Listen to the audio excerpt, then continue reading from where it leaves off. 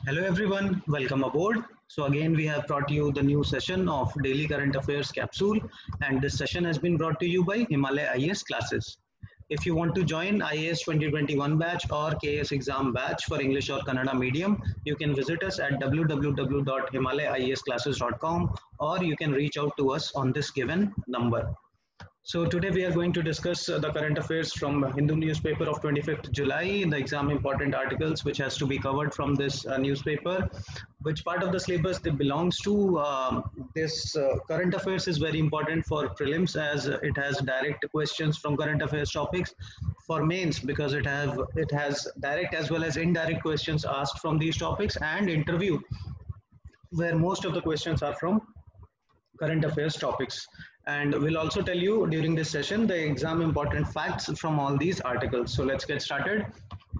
First article today talks about uh, the judiciary or basically the balancing of the three organs of state, executive, legislature and judiciary and the constitution. Syllabus wise it is part of the polity in the prelims and polity is part of general studies paper 2 in the mains examination.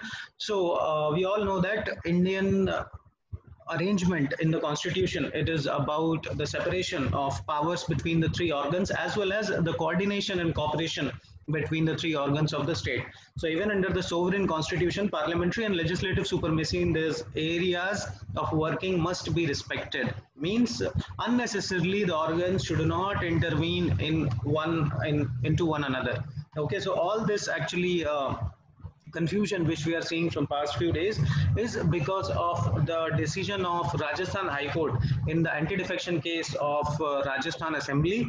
So where High Court has asked the speaker to hold its decision and later this decision or this question is being looked into by the honorable supreme court itself so the old verdict now which is in question as part of this con controversy, please uh, take a note of it that Constitution bench in the uh, case of Kihoto Hollohan's case in 1992 held that Speaker acting in the disqualification matter acts as a tribunal and is subject to judicial review. Okay, so the court will not intervene into an interim stage. It can intervene only once the decision has been taken. So that's the whole issue actually.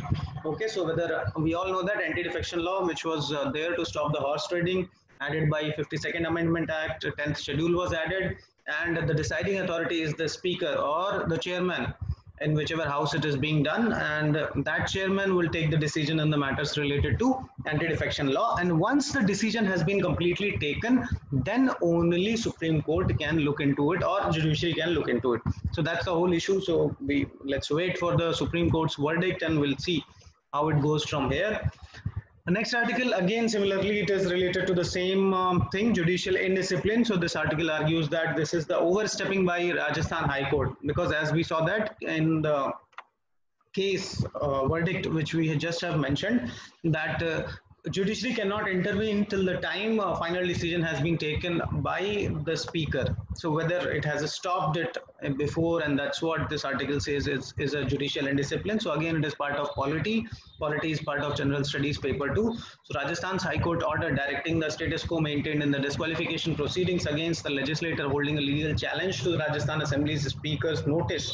Under, uh, under anti-defection law uh, to be maintainable borders a judicial indiscipline or you can say judicial overreach okay? So again it gives the reference of 1992 that Kihoto Hollohan's uh, judgment where uh, the speaker has to be the final authority and after that it will be subject to the judicial review. Next article today talks about the situations of the city after this lockdown. So we have uh, seen this uh, lockdown and a lot of uh, restrictions on the social uh, on the mobility in the cities because of which a lot of good things have also happened. But uh, once this uh, crisis is over or the lockdown situations or the restrictions are over then how the cities will cope up with uh, this? So prelims wise it is the part of issues related to social and economic development and mains it is part of general studies paper 1 issues related to urbanization basically they are part of paper 1 so from that angle, you should uh, know that, okay, distancing, isolation and thinning out of public spaces in Indian cities have offered up a new pastoral landscape of delight for urban dwellers.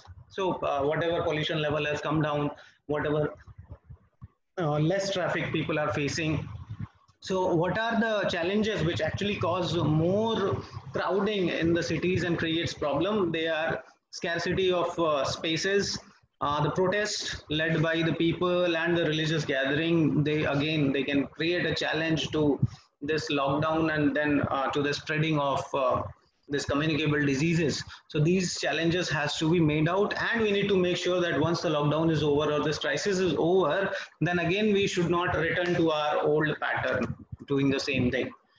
Next article today talks about the permanent commissioning of the women into the Indian Army. So syllabus wise again, issues related to social, social and economic development in the prelims and issues related to women are part of general studies paper one in the mains examination.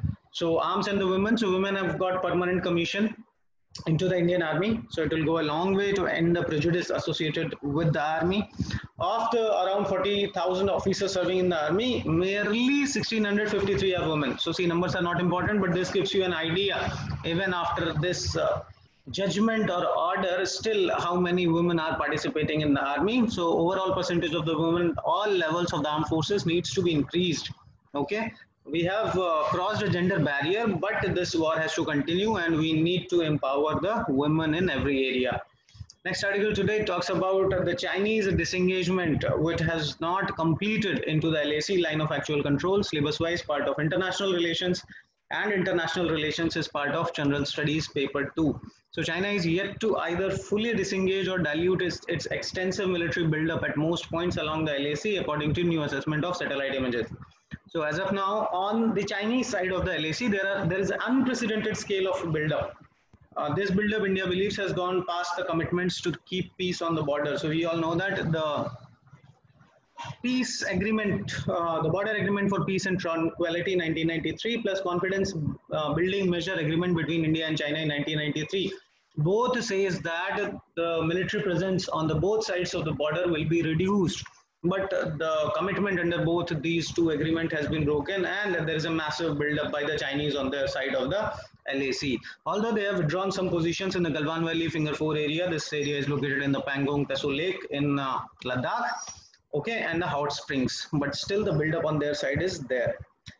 Uh, next important article, uh, again, see it is a series it's a part of the series which is um, part of ongoing new cold war between china and united states. So we know that few days back uh, united states has asked china to shut its uh, consulate in houston and now china has done the same. So syllabus wise part of the prelims international relations and international relations is part of general studies paper 2 so just try to remember this name.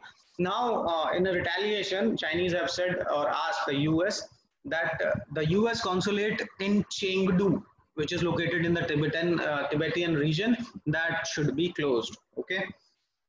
Uh, Taliban talks another important article uh, uh related to international relations, which is part of the general studies paper two. So uh, Taliban has said that they will offer a handover the last of the government prisoners in. Uh, they will hand over the government prisoners and in return the government should release Taliban prisoners. Okay, so this Afghan government and Taliban talks is being uh, done through High Council for National Reconciliation. This is a body which has been created in Afghanistan to do or uh, to complete the Taliban talks. Okay, which was created to manage the peace efforts with the Taliban, and they both are still working. We all know that this uh, peace deal or peace talks between uh, Taliban and Afghan government is being mediated by the United States. Okay, and the prisoners exchange actually is one of the conditions for this peace deal to get completed.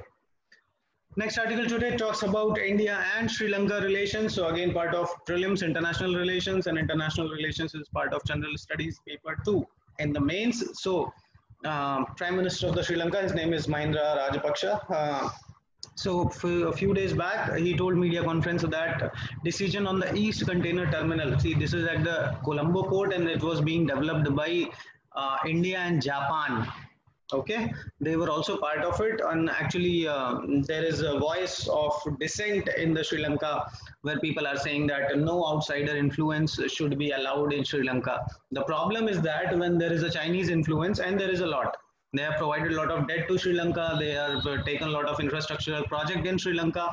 When there is a chinese uh, interference then they don't see it as uh, outside interference, whereas when it is from some other country, especially India or United States, they feel it as interference. Okay.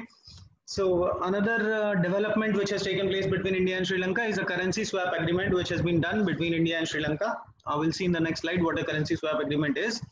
Also, India during the COVID has assisted in Suwa Seriya ambulance service in Sri Lanka and still one of the major uh, problems between India and Sri Lanka is the Tamilian questions. So a lot of Sinhalese who are settled in of Tamilian origin who are settled in uh, Sri Lanka, uh, they were provided or they were to be provided equal rights by the 13th amendment to the Sri Lankan constitution, which was an outcome of Indo-Sri Lanka Accord of 1987. Okay, but that is still the implementation, it lacks in that place. So uh, next news article today talks about the currency swap agreement between RBI and the Sri Lanka. So part of economy, economy is the part of general studies paper three in the mains. So currency swaps are actually what is it? It's uh, they are used to obtain foreign currency loans at a better interest rate than could be got by borrowing indirectly in a foreign market. Sri Lanka owes almost 960 million US dollars to India. See, currency swap agreement is basically, let us say you want to make a payment to Sri Lanka. So traditional ways you go to the foreign exchange market, you buy or Sri Lanka has to make payment to India, it will go to the forex, it will buy Indian currency, then it will make the payment, or it will buy the United uh, US dollar and then make payment to India. So in buying US dollar, it gives the supply of Sri Lankan currency and it weakens it. That is why when you do a currency swap, then nothing has to be happen. They can uh, give the equal amount of the currency in worth uh, Sri Lankan currency to Indian government. Indian government can add it to its foreign exchange reserve. So for them also a win-win deal and it's a win-win situation for uh, Sri Lanka as well. Apart from Sri Lanka, India also has a currency swap agreement with the Japan.